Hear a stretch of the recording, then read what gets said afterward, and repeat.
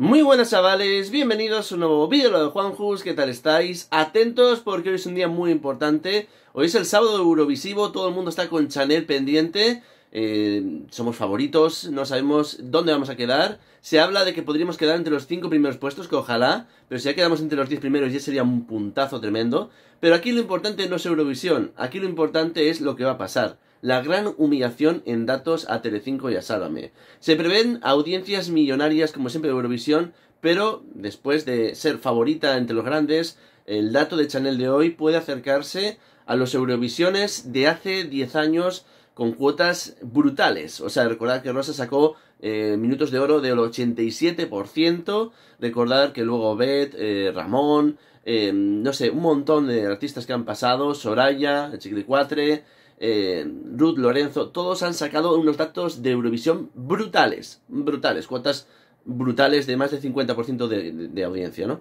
Eurovisión siempre arrastra a Salame y a Telecinco a mínimos históricos y ahí estaremos mirando con lupa, con lupa todo. Lo único triste es que Eurovisión se transmite ahora por otras plataformas, ¿no?